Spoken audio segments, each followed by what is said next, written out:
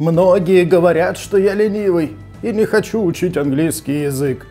Кажется, самое время подтянуть инглиш. А поможет нам в этом англо-русский словарь.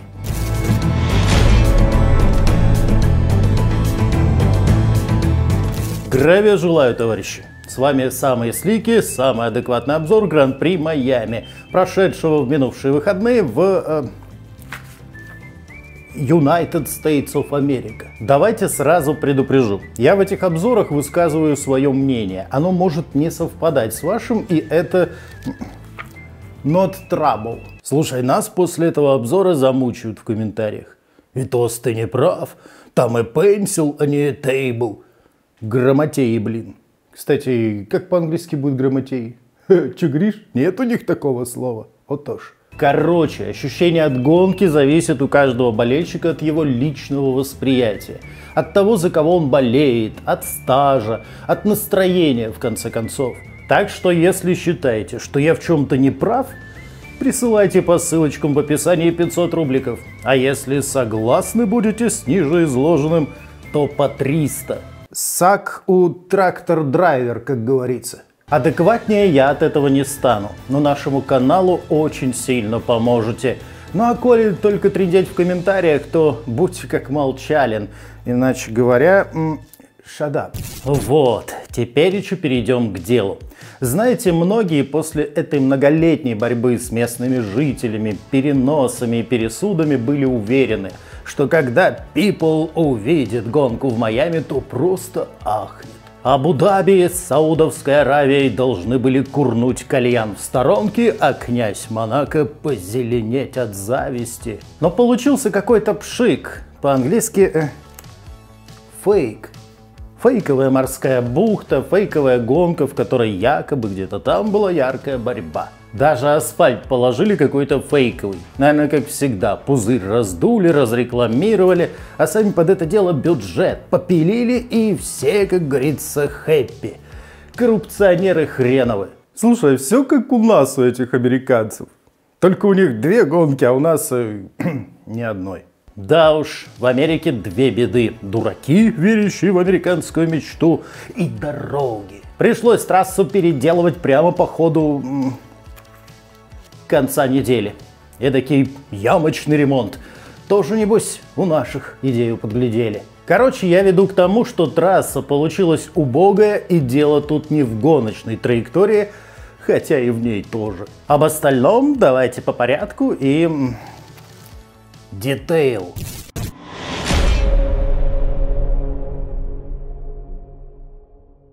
Ты знаешь, Молчалин, я слыхал, что у них в Голливуде все геи.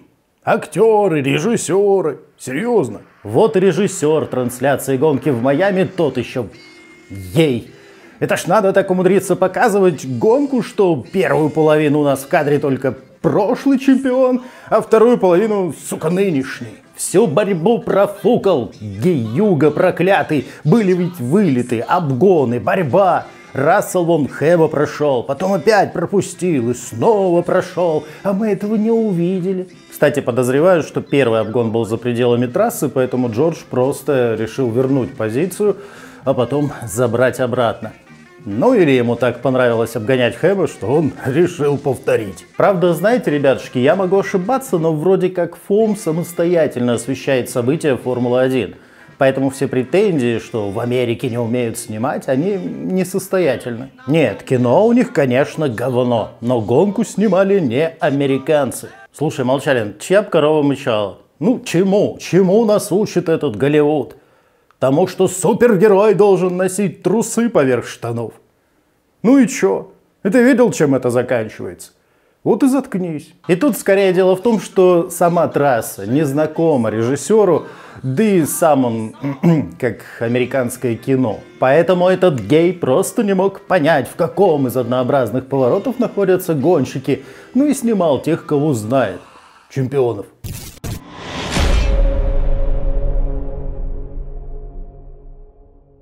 Если честно, сама гонка выдалась скучной. Не, ну конечно, если посмотреть онборды пилотов, то для многих она была боевитая, насыщенная, каждый там превозмогал как мог. Но коли взглянуть на шоу оптом, так сказать, на коллективное выступление, то скучняк. Ну, до Пискара точно. Разве что можно было поразвлечься гонкой э, лузеров. Астона еще до старта заехали в боксы, что-то у них там с бензином – Возможно, в США резко подорожал газолин, и все ждали, когда Лоуренс Строу за него расплатится. В общем, стартовали парни с питлейн, и в какой-то момент после своих пидстопов к ним присоединились хасы. И тут Себушка Феттель совершил один из самых красивых обгонов, по крайней мере в этом сезоне. Несколько поворотов он держался с магой side by side и вышел таки победителем из этой битвы. Ну а так даже и не расскажешь. Толчья была неимоверная. Она-то и вылилась в столкновение лузера Гасли с еще одним лузером Норрисом. А все потому, что за круг до этого Федор Иванович затаранил этого самого Гасли. А что это Федор Иванович лузер? Вовсе нет. Ты, Молчалин, make big mistake. Он же двухкратный чемпион. Хотя ты прав, только двухкратный. Лузер. Блин, я вообще не могу найти героев. Цунода стартовал из десятки и каким-то образом умудрился все просрать. Федор Иванович тот же. Выглядел как, блин, пенсионерка в отделе эротического белья. А после своих двух штрафов и вообще выпал из десятки. Но, пожалуй, самую лузерную гонку провели хасы. И тут, наверное, уже американцам надо учить вполне себе сликовое слово Хоздец. Слушайте, обладая машиной, которая может бороться на домашней гонке, хасы умудрились просрать все полимеры. Такое впечатление, Молчалин, что они уже сами против себя санкции вводят. Как же будет это слово по-английски? А, fucking fuck. Что такое, ребятушки? Куда скорость делась? Ехали же Аки Ботас. А Валера вон как не старался уничтожить свою Альфу, все равно быстрее Мерседесов. Да, конечно, он их пропустил, но мне кажется, это Джеймс прикололся. Да. Помните, Валерчик же ездит с телефоном. Он у него как-то вибрировал там на старте. Так вот, сдается мне, Джеймс неожиданно позвонил и как гаркнет. Вальтериц Джеймс! И Ботас с испугу оба Мерседеса пропустил, а Валера еще подумал, о май гад, меня ж так уволят. Ух ты, а меня ж это, уже уволили. Ребята, подождите, ошибочка вышла. Что за ошибочка вышла у Хасов, не понимаю. Два последних места на финише. Это, конечно, этот, как его, кринж. Fuck fucking.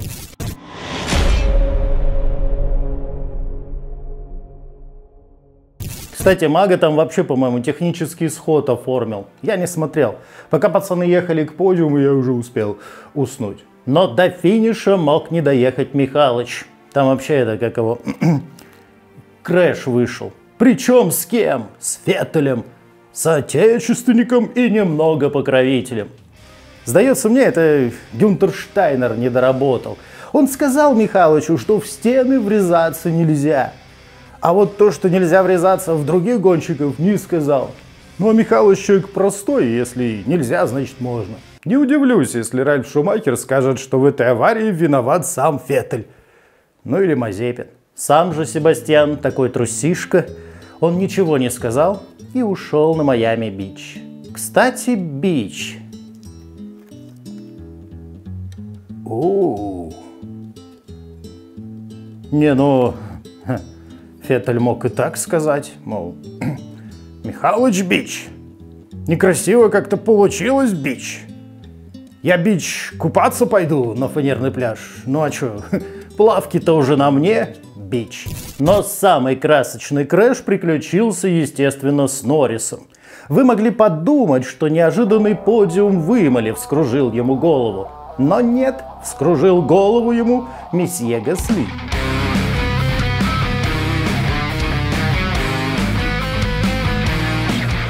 Француз филигранно совершил подкат и забросил в корзину разочарования этой гонки трехочковый баскетбольный мяч, внутри которого находилась голова Норриса, со всем ее содержимым. Если честно, я Ландыша первый раз таким злым видел. Сложилось впечатление, что он сейчас с горя топиться пойдет. Но мы-то с вами не переживали. Мы же знали.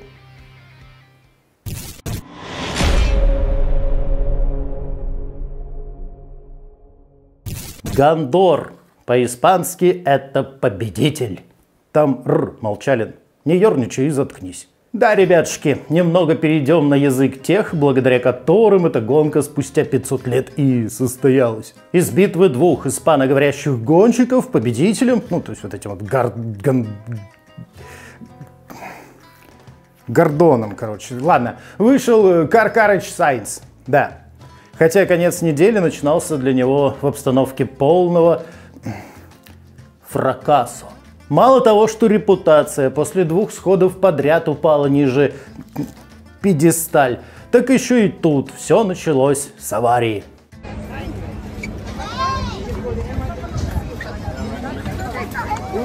Да, полез Карлита через забор и как бухнется бестолковкой. Аж это, до крови покалечился. Глупо, как и весь нынешний сезон у него. Карыч думает, вот чупакабра, еще в машину не сел, уже разбился. Ну а когда ему предоставили алый автомобиль, началось по-серьезки. Прямо перед поворотом русские горки, вы уж извините, что я его буду так называть, ну так в Америке горки называются.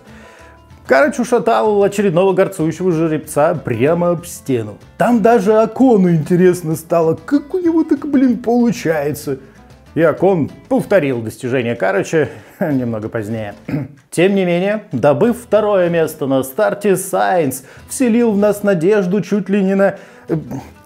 Викторию. Но реальность фейковой трассы настигла моментально, и все, что оставалось потомкам конкистадоров, это сражаться между собой. В момент рестарта даже самый маленький мучачос понимал, что на свежем медиуме Серега Перцев сейчас э, Миерда, комрада Сайнца. Решительная атака разъяренного быка на красную тряпку. Ничего, что я так про Сайнца. Дым из-под колес и краснобыкий Тореадор остался ни с чем. А Каролита на своем горцующем орлике поскакал прямо на подиум. Браво, Карлито! Буэнос Диас, рогатцы!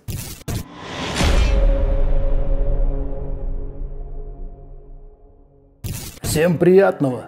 Ну а что, я просто попытался перевести фамилию Албон на английский. Как вы понимаете из вышесказанного, приятно в Майами было далеко не всем. Но вот самому Албону очень даже. Второй раз затащил очки, а после штрафов Алонса очко и правда превратилось во множественное число. Это ж надо! Рассел два года тошнил, чтобы затащить очки в Вильямсе, а Албон пришел, увидел, навозил. Если так дело пойдет, Сашку снова в Редбул возьмут. Ну, чтобы не выпендривался. Герой, блин. Такс, как по-английски будет герой?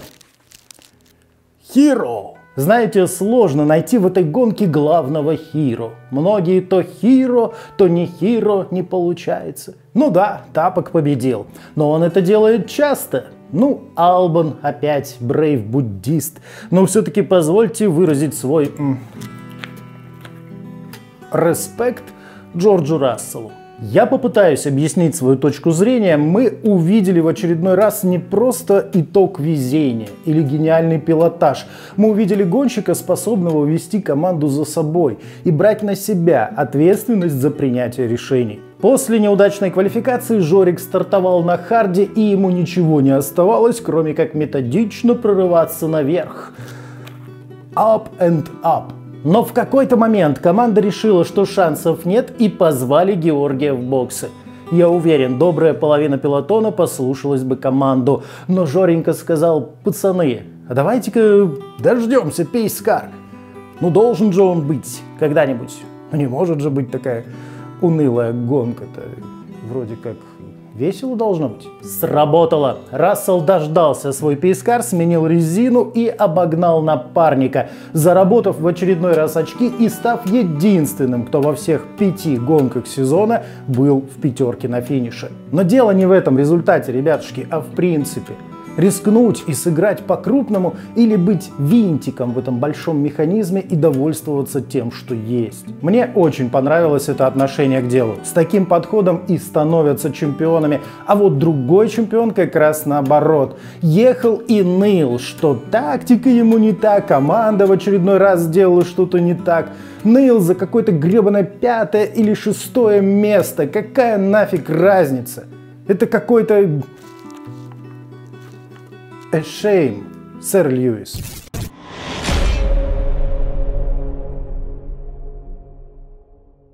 Кстати, если мы поговорили про Хиро, то я не могу пропустить рубрику «Какого Хира?» Какого Хира вот это? Какого Хира это? Какого Хира... А, ну тут мы уже привыкли. Братцы, сестры, лучшие гонщики планеты. Они ведь герои. Мы же смотрим гонки и восхищаемся их характерами, поступками, пурпосефулнесом. Объясните, какого хиро я должен восторгаться этим?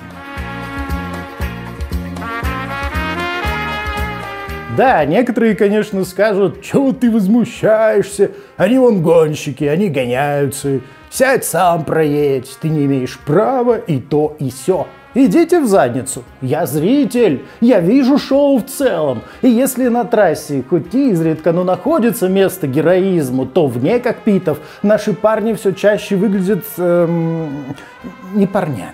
В английском вряд ли есть такое слово – вы извините меня за ругательство, но все чаще они выглядят ебланами. Вот, к примеру, мужик. Он болельщик, он не медийное лицо, он не формирует мировоззрение подрастающего поколения и не травмирует мировоззрение уже подросшего. К тому же в этом костюме полно символизма, отсылок, сатиры, если хотите. А какой символизм вот в этом костюме? Ебланы. Согласно правилам, написанным кровью судьи, хотят убедиться, что каждый е... герой надел огнеупорное белье. Это не хало, нарушающее принцип гонок с открытыми колесами. Это не асфальтированные зоны безопасности вместо гравия всемогущего. Это, сука, белье. Себушка, против чего ты протестуешь? Против собственной безопасности? Он говорит, это мое Personal Space. Еблан, когда ты будешь корчиться от боли в горящем кокпите, ты спасателям тоже будешь говорить. Не лезьте сюда, это мое личное пространство. Я вообще не понимаю, был нормальный человек. И тут после нескольких разворотов за рулем Феррари у Себа, видимо, мозжечок укачало. Начал ни с того ни с сего протестовать всегда и везде. Герой Формулы-1, который войдет в историю как идиот, натянувший трусы на комбинезон. Кстати, вот вам еще один герой. Люсек, Хэмилтон. Вот уж кому равных в Формуле 1 нет. Опять же, согласно правилам безопасности, попросили ребят в гонке снимать свои колечки, сережки, цепочки, пирсинги. Ну, потому что количество побрякушек у некоторых пилотов уже превышает наряд какой-нибудь бьюти-блогерши. Увидев Хэмилтона, даже цыгане постеснялись подходить к нему с предложением «золото доллары». «Может, хоть часы возьмете, дяденька, хубло?» Оригинал. Кстати, о часах. За последнее время среди гонщиков прокатилась подозрительная волна преступности. У двоих отжали котлы. У Леклера и у Норриса. И тут смотрю я, сэр Хэмилтон пожаловал на пресс-конференцию с тремя часами – Думаю, водает. Пацан к успеху пошел. Получилось. Фартануло. Делом наконец-таки занялся. А то все языком да языком. Кстати, о языке. Take off you watch, motherfucker. Эту фразу услышал не только Леклер с Норрисом, но и сам Льюис Хэмилтон. Правда, снимать часы и все остальное оперение папуаса он отказался. Ну, ему уже там и денежными штрафами угрожали, и по времени скачуху сделали. Но нет, есть, говорит, у меня металлический предмет кое-где. И извлечь его можно только хирургическим путем. Он чё, блядь, шариков от подшипников в детстве наглотался, что ли? Или пружинку свою сжимал металлическим хомутом, чтобы когда он страх потерял, она не шибко разжалась. Короче, Хэм говорит, я буду протестовать. Трусы на штаны я, конечно же, не натяну, я же не еблан. Да, Сэбушка, я, говорит, в следующий раз надену четверо часов. Сэбушка, в твоем полку прибыло. Братцы, ну что за детский сад? Самые матерые и опытные пилоты Формулы-1 выглядят как капризные дети. Плохо воспитанные, эгоистичные дети. Какого хира?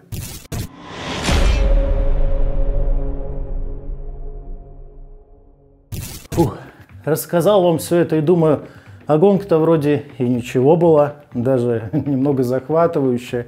Но надо понимать, все это высосано из фетеля, как говорится. Если пересматривать гонку, то только с момента рестарта. Сколько там? Кругов 10? Остальное все скукота. Впрочем, напомню, это только мое мнение. Про выражение своего я вам в самом начале рассказал, про ссылочки в описании, в закрепленном комментарии.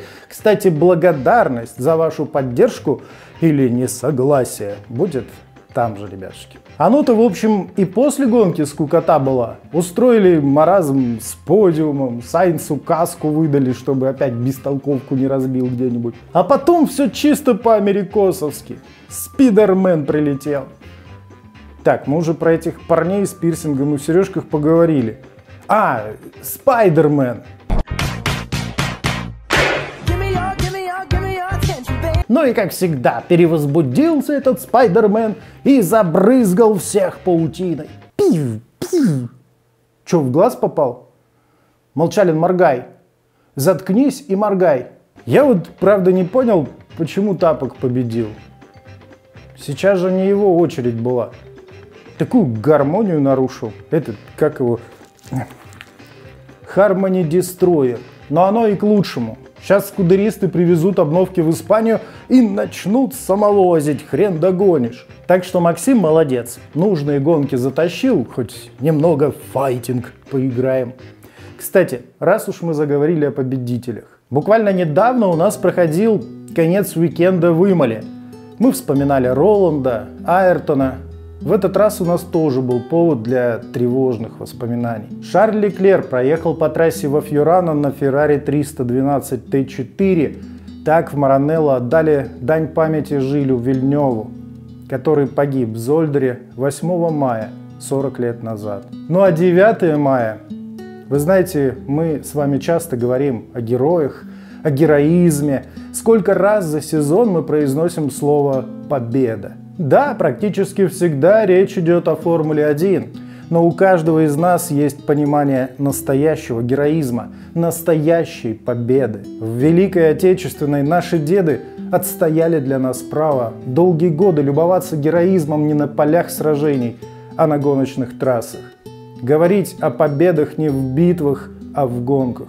Просто радоваться мирному небу и растить достойное поколение новых людей. Получилось у нас или нет, это уже другой вопрос. Но подвиг героев Великой Отечественной войны забывать нельзя. С Днем Победы, ребятушки! Мирного вам неба! трасса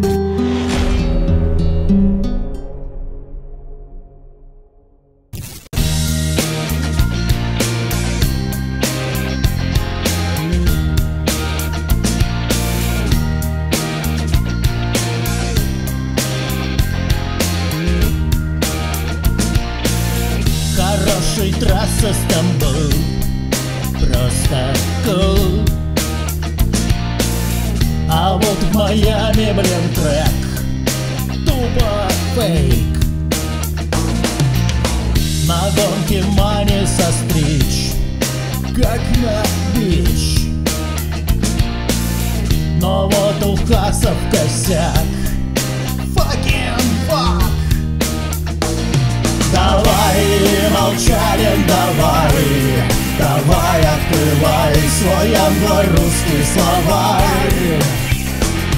Давай молчалим, давай. Давай открывай свой англо-русский словарь. Когда об стену фигась Sorry, guys Не получился обгон Tire is gone Когда напарник летит. Это щит.